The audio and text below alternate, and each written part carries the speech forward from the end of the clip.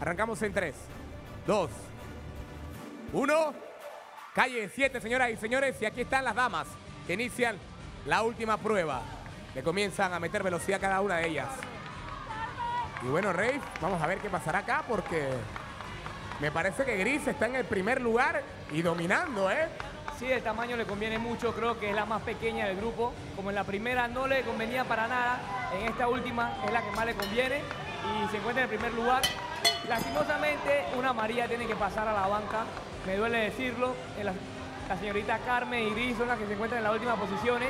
Ana Paula está salvada, ganó las dos primeras competencias y, y nada, la Fiera María va a resentir mucho esta pérdida.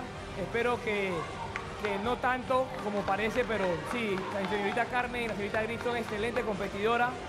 Duele perderlas, pero así es la vida. Ojalá que puedan regresar de una banca del equipo amarillo nuevamente, porque podría ser rojo. Así